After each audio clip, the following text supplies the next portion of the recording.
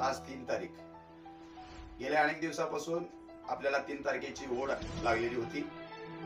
प्रत्येक माणसाच्या मनामध्ये तीन तारखेला प्रिय सदस्य समितीचा अहवाल सादर होणार आणि त्या अहवालावरती आपलं वाचन होणार आणि वाचन झाल्यानंतर आपल्याला निर्णय येईल अशा प्रकारची माहिती टी व्ही नाईनच्या माध्यमातून आपल्याला मिळालेली होती. पण मी आपल्याला सांगू इच्छितो की जे विलिनीकरणाचा लढा आपण चालू केलेला आहे तो विलिनीकरणाचा लढा कुठल्या तारखेवर चालू केलेला नसून हा विलिनीकरणाचा लढा हा आपण जोपर्यंत विलिनीकरण आपल्याला मिळणार नाही तोपर्यंत कायमस्वरूपी पुढे घेऊन जायचं यासाठी आपण हा विलिनीकरणाचा लढा या ठिकाणी चालू केला मी आपल्याला सांगू इच्छितो की निश्चितपणानं आपल्याला तारीख कुठली धरून चालणार नाही आहे हे गेल्या अनेक दिवसापासून मी तुम्हाला सांगतो. मित्रांनो माहितीसाठी सांगतो की जे काय बारा आठवड्याचा कालावधी होता तो बारा बारा आठवड्याचा कालावधी पूर्ण झाल्यानंतर त्रिय सदस्यीय समितीचा अहवाल हा कोर्टाकडे सादर केला जाईल.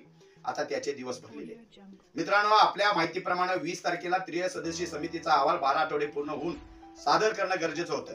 पण शासनाने यात वेळ काढूपणा केला आणि फक्त वर्किंग दिवस पकडून त्याचे बारा आठवडे पूर्ण करण्याचं काम केलं. त्याची तारीख आज आहे. म्हणजे आज तीन तारखेला बारा आठवड्याचा कालावधी पूर्ण आज बारा आठवड्याचा कालावधी पूर्ण होत असल्यामुळं निश्चितपणानं की विलिनीकरणासाठी त्रिय सदस्य समितीनं केलेला अहवाल हा परिवहन मंत्र्यांच्याकडे सादर होईल. परिवहन मंत्री हे मुख्यमंत्र्यांच्याकडे सादर करतील आणि मुख्यमंत्री त्याच्यावर वाचन करून ते कोर्टात सादर करतील अशा प्रकारची प्रक्रिया आपल्या पुढे येणार आहे. मित्रांनो मी तुम्हाला या गोष्टीत सांगू इच्छितो की निश्चितपणानं आपण कुठल्या तारखेवर विलिनीकरणाचा लढा नाही. मित्रांनो ज्या ज्या तारखेला आपण विश्वास ठेवून बसलो त्या त्या तारखेला प्रशासनानं आणि शासनानं दोघांनी हातात हात घालून आपल्याला फसवायचं काम केलंय.